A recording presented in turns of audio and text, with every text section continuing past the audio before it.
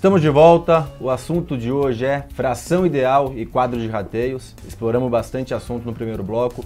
Volte e assista que tem informações interessantes. Vamos com a gente buscar chegar nos 100 mil seguidores. Compartilhe conhecimento, compartilhe nossos vídeos, curta nossos vídeos, que é um, uma forma de a gente profissionalizar e melhorar o nosso segmento. Vem comigo. Eu joguei a bola aqui para vocês, a batata quente, falando sobre ah, os problemas que temos, sobre fração ideal, sobre tamanhos diferentes de, de unidades e às vezes dobro ou triplo e interesses diferentes e aí cai no quadro de rateio e isso vira um problema muito grande. Então a bola está com você. Rogério, o que, que você tem para me dizer sobre esse assunto? Cara, é, assim, tem dois, dois aspectos, né? É, já tive experiência de que os que têm a fração maior querem ter uma melhoria no condomínio e apontam para os que têm uma fração menor como as pessoas de menor poder aquisitivo e que não têm capacidade de morar ali, que não têm capacidade de, de honrar com os, com os pagamentos. Um preconceito social. Preconceito né? social, do tipo assim, ah, o cara não devia morar aqui, sabe? O apartamento dele é pequeno, essas coisas, assim, acontece muito. Em contrapartida, eu também tenho condomínios em que os condomínios tipo, eles querem melhorias e eles querem aumentar condomínio, só que para eles uma, uma melhoria de 100 reais para outra unidade são 300 reais, 350 reais às vezes para o Garden. Então fica nessa, nesse embate. É, tudo bem, para você é, um, é um, uma mudança pequena. Só que assim, o que eu sempre falo é a lei é essa, né? A gente não pode tratar diverso da lei. Então, assim, quando você comprou a sua unidade com uma fração ideal maior, você já deveria saber que você está sujeito a, esse, a, esses problemas. Não tem muito o que fazer, né? E, e, e, na maioria dos casos, ou quase todos, ou talvez todos, quem se prevalece é quem tem mais é, unidades, né? Então, por exemplo, no caso que você citou aqui, é, você citou até fora do ar, uma das torres tinha um, eram menores, tinha duas torres com maior. É. E no outro caso, é pouquíssimas unidades maior. Maiores, então, é. quem tem mais opção de, de, de voto normalmente acaba se prevalecendo. É, né? é sempre válido lembrar que quem tem a área maior também tem o voto com mais peso, né? Então, Sim. assim, não é que só que paga mais, né? Ele tem, se você tem a, o dobro da fração, o seu voto vale o dobrado também, né? Sim, mas num caso, por exemplo, de quatro coberturas... Eu sei, não, eu é só quis... Eu, é, não, eu sim, só mas é insignificante, Sim, né? não, é insignificante. Geralmente você perde para os tipos porque... É, mesmo sua área sendo maior, não, não conta. Mas assim, é uma compensação da lei para você, assim, tipo, você sim. paga mais, mas o seu voto vale mais. Isso é muito importante até a gente deixar registrado, que eu já vi muita gente comer bola nisso principalmente em empate, né? A cobertura votou, mas eles não consideram a fração da cobertura. A fração da cobertura ou do, do, quando, do apartamento que é maior vale mais, né? É muito importante não, isso. Bem, muito bom você ter citado isso, porque exatamente, se tiver ali um, um, um, um empate ou um número próximo, muitas vezes o voto vale mais, né? É. Geralmente esse voto tem Mas uma fração em geral, em geral, não é nesses é casos, é, nesses casos de grana, quem tem o um apartamento maior geralmente fica meio avulso na história. Diga, Rodolfo. É, a gente acaba meio que sempre caindo no argumento do uso. É a sensação de justiça que a pessoa quer que prevaleça por aquilo que ela usufrui efetivamente ou que ela gasta no todo. Estaria correto. O problema é que o Código Civil não está muito preocupado com isso. Uhum. É, e na prática é muito difícil você avaliar a participação de cada um no gasto do todo. Então a gente tem essa questão da fração ideal e uma alteração muito rígida, o quórum de dois terços dos condôminos para fazer uma alteração igualitária ou de acordo com as peculiaridades daquele condomínio.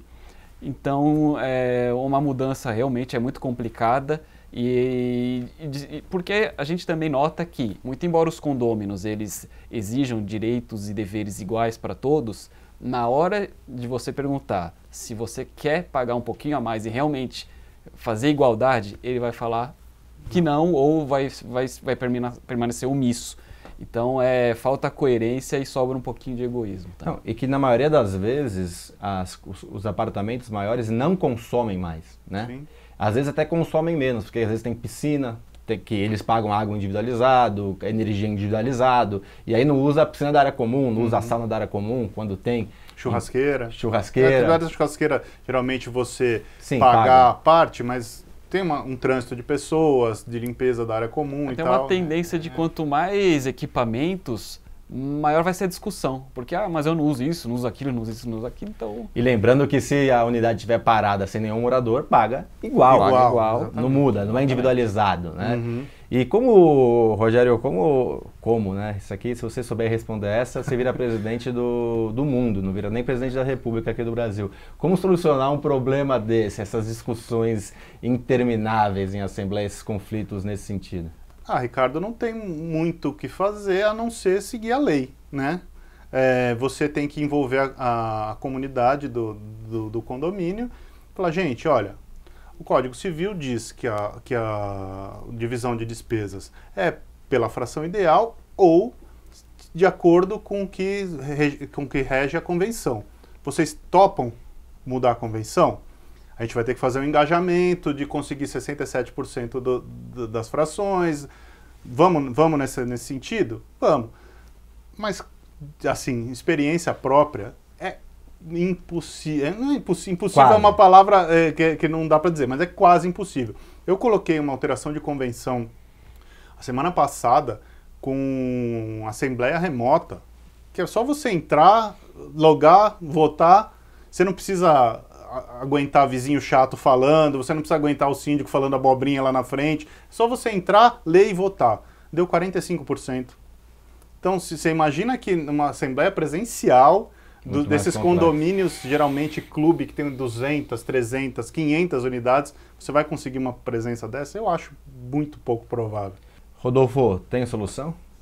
Olha, é muito difícil, viu? É, existe até um projeto de lei que está parado, mas ele prevê a mudança do quadro de rateio para que sejam todos iguais. Só que isso também não, não resolve o problema e geram outros problemas, é, como a gente está falando em condomínios mistos.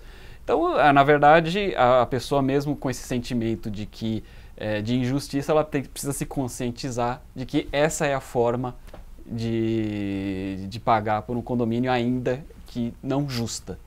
Acho que vale a pena. É, acho que justiça é, é, praticamente impossível dentro de um condomínio, porque qualquer a única justiça seria você medir cada passo Exato. de cada morador. Então, mas aí é impossível. Teria que medir quanto que você andou, quanto que você sujou, quanto que você subiu de elevador, quanto que você desceu. Quer dizer, a gente pagaria é, 20 pessoas para fazer uma análise crítica de cada morador. É, mas aí né? eu chego na, na, na, na assim, por exemplo, você vai cobrar por quem usa a piscina. E se ninguém usar? Exato. Não paga?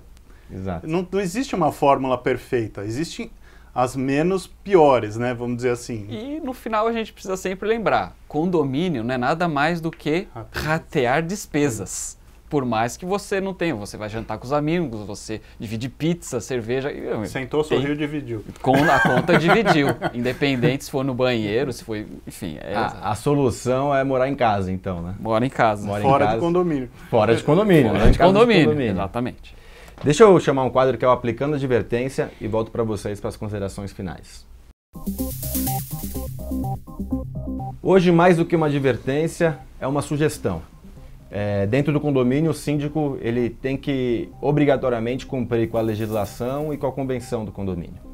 E a fração ideal é uma realidade, justa ou não, isso é subjetivo, cada um tem o seu pensamento. Mas a sugestão é que você, síndico, explique. Explique para as pessoas o que você pode fazer, o que você não pode fazer. E por que, que você está fazendo dessa forma. Eu acho que esse é um ponto importante.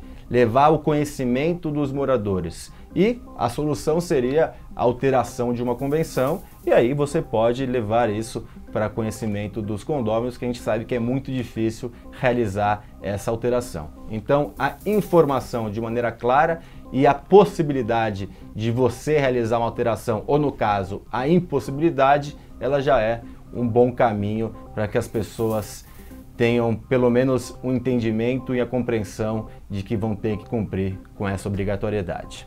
Rogério, alguma consideração final aqui para quem está nos assistindo? Não, é, eu gostaria de convidar o pessoal a conhecer o nosso programa Condomínio Informal, para quem não bom. conhece, que vai to toda quinta-feira, meio-dia, aqui, aqui, na Conde TV canal. também, é. E agradecer mais uma vez o convite, estou sempre à disposição. Obrigado, sempre boa participação. Muito obrigado. Rodolfo, alguma consideração final para quem está nos assistindo? É só isso mesmo, convidar todo mundo a se inscrever no canal e assistir os programas, porque realmente vai aumentar muito o conhecimento e o entendimento do que é a vida em condomínio. Obrigado pela sua participação e volte sempre. Eu que agradeço, muito obrigado.